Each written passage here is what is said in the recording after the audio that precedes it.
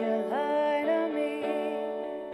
Was it simply distraction? Something to stop you from being so bored?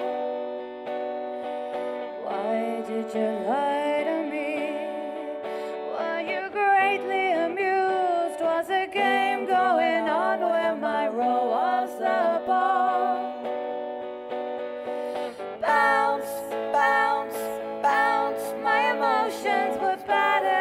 trust your call, little prince.